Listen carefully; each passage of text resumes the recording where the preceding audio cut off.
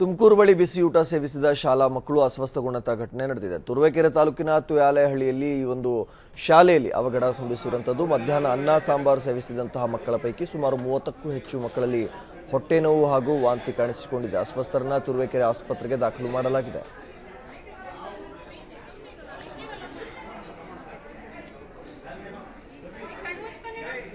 S, ಎಲ್ಲ ವಿಚಾರಕ್ಕೆ ಸಂಬಂಧಪಟ್ಟಂತೆ ತುಮಕೂರು ಪ್ರತಿನಿಧಿ ಪ್ರದೀಪ್ ಈಗ ನಮ್ಮ ಜೊತೆಗೆ ದೂರವಾಣಿ ಸಂಪರ್ಕದಲ್ಲಿದ್ದಾರೆ. ಪ್ರದೀಪ್, ಏನಾಗಿದೆ ಅಂತ ಆಹಾರದಲ್ಲಿ ಏನಾಗಿತ್ತು ಅಂತ ಡಾಕ್ಟರ್ ಏನ್ ಹೇಳ್ತಿದ್ದಾರೆ ಇವಾಗ? ಏನು ಇವತ್ತು ಮಧ್ಯಾಹ್ನ, ಏನು ಬಿಸಿ ಊಟ ಸೇವಿಸಿದಂತಹ ಮಗ, ಸುಮಾರು ಮೂವತ್ತಕ್ಕೂ ಹೆಚ್ಚು ಜನ ಮಕ್ಕಳು ಅಸ್ವಸ್ಥರಾಗಿರುವಂಥದ್ದು ತುಮಕೂರು ಜಿಲ್ಲೆಯ ತುಬೇಕೆರೆ ತಾಲೂಕಿನ ತೂಯಾಲೆ ಹಳ್ಳಿ ಇರುವಂತಹ ಒಂದು ಗ್ರಾಮ ಏನಿದೆ, ಈ ಒಂದು ಸರ್ಕಾರಿ ಶಾಲೆಯಲ್ಲಿ ಒಂದನೇ ತರಗತಿಯಿಂದ ಏಳನೇ ತರಗತಿವರೆಗೂ ಸುಮಾರು ಮೂವತ್ತಕ್ಕೂ ಹೆಚ್ಚು ಜನ ಮಕ್ಕಳು ಈ ಒಂದು ಏನು ಅನ್ನ ಸಾಂಬಾರನ್ನು ಬಿಸಿ ಊಟವನ್ನು ಸೇವಿಸಿದ್ರು. ಅದಾದ ಬಳಿಕ ಈ ಮೂವತ್ತು ಜನ ಮಕ್ಕಳಿಗೂ ವಾಂತಿ ಭೇದಿ ಕಾಣಿಸಿಕೊಂಡಿರುವಂಥದ್ದು. ಕೂಡಲೇ ಶಿಕ್ಷಕರು ಅವರನ್ನ ಸ್ಥಳೀಯ, ಅಂದ್ರೆ ತುರುವೇಕೆರೆ ಸರ್ಕಾರಿ ಆಸ್ಪತ್ರೆಗೆ ದಾಖಲಿಸಿ ಚಿಕಿತ್ಸೆಯನ್ನು ಕೊಡಿಸಿರುವಂಥದ್ದು.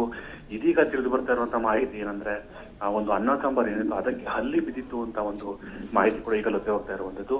ಈಗಾಗಲೇ ಅಸ್ವಸ್ಥ ಮಕ್ಕಳೆಲ್ಲರಿಗೂ ಕೂಡ ಏನು ವೈದ್ಯರು ಚಿಕಿತ್ಸೆಯನ್ನು ಕೊಟ್ಟಿರುವಂಥದ್ದು. ಇದೀಗ ಮಕ್ಕಳು ಚೇತರಿಸ್ಕೊಳ್ತಾ ಇದ್ದಾರೆ ನಿಖಿಲ್.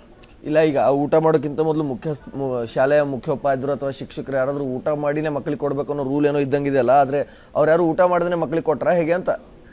ಖಂಡಿತ ನಿಖಿಲ್, ಏನು ರೂಲ್ಸ್ ಇರುವಂತದ್ದು ಹಾಗೆ ಅಂದ್ರೆ ಶಾಲಾ, ಶಾಲೆಯಲ್ಲಿ ಏನು ತಯಾರಿಸುವಂತಹ ಅಡಿಗೆ ಏನಿದೆ, ಅದನ್ನ ಮೊದಲು ಅಲ್ಲಿನ ಶಿಕ್ಷಕರು ತಿಂದು ನೋಡಬೇಕು. ಅದಾದ ಬಳಿಕ ಮಕ್ಕಳಿಗೆ ಕೊಡಬೇಕು ಅಂತ ಒಂದು ರೂಲ್ಸ್ ಇರುವಂತದ್ದು. ಆದ್ರೆ ಎಲ್ಲೋ ಒಂದ್ ಕಡೆ ಶಿಕ್ಷಕರು ಕೂಡ ಎಲ್ಲಾ ಸರ್ಕಾರಿ ಶಾಲೆಗಳಲ್ಲೂ ಒಂದು ನಿಯಮವನ್ನ ಮೀರ್ತಾ ಇದ್ದಾರೆ ಅಂತಾನೆ ಹೇಳ್ಬೋದು. ಅವ್ರ ಮನೆಯಿಂದನೇ ಬಾಕ್ಸ್ಗಳನ್ನ ತಗೊಂಡ್ ಬರ್ತಾರೆ. ಹಾಗಾಗಿ ಮಕ್ಕಳಿಗೆ ಅಡಿಗೆಯನ್ನ ಮಾಡಾಕಿದ್ರೆ ಸಾಕು. ನಮ್ಮ ಜವಾಬ್ದಾರಿ ಮುಗೀತು ಅನ್ನುವಂತ ಒಂದು ವರ್ತನೆ ಇದೆ ಇದರಿಂದಾಗಿ ಒಂದು ಅವಘಡ ಸಂಭವಿಸಿರುವಂತದ್ದು ನಿಖಿಲ್. ಈಗ ಪೋಷಕರೆಲ್ಲ ಏನು ಹೇಳ್ತಿದ್ದಾರೆ? ಯಾವ ರೀತಿಯಾಗಿ ಆಕ್ರೋಶ ಅವರು ಹಾಕ್ತಿದ್ದಾರೆ ಅಂತ? ನಿಖಿಲೇನು ಈ ಒಂದು ಘಟನೆಗೆ ಸಂಬಂಧಪಟ್ಟಂತೆ ಈಗಾಗಲೇ ಮಕ್ಕಳ ಪೋಷಕರು ಸಾಕಷ್ಟು ಆಕ್ರೋಶವನ್ನು ವ್ಯಕ್ತಪಡಿಸ್ತಾ ಇರುವಂತದ್ದು ಅಂದ್ರೆ ನಮ್ಮ ಮಕ್ಕಳಿಗೆ ಭದ್ರತೆ ಎಲ್ಲಿದೆ? ನೀವು ಯಾವ ರೀತಿ ಮಕ್ಕಳನ್ನ ನೋಡ್ಕೊಳ್ತಾ ಇದ್ದೀರಿ? ಇದೆಲ್ಲವನ್ನೂ ಕೂಡ ನೀವು ಮೇಲುಸ್ತುವರಿಯನ್ನು ವಹಿಸಬೇಕು ಆದ್ರೆ ನಿಮ್ಮ ನಿರ್ಲಕ್ಷ್ಯದಿಂದ ಇದೀಗ ನಮ್ಮ ಮಕ್ಕಳು ಏನು ಅಸ್ವಸ್ಥ ಆಗಿರುವಂತಹ ಒಂದು ಆರೋಪವನ್ನು ಮಾಡ್ತಾ ಇರೋದು. ಓಕೆ ಧನ್ಯವಾದ ಪ್ರದೀಪ್ ನಿಮ್ಮೆಲ್ಲ ಮಾಹಿತಿಗಾಗಿ.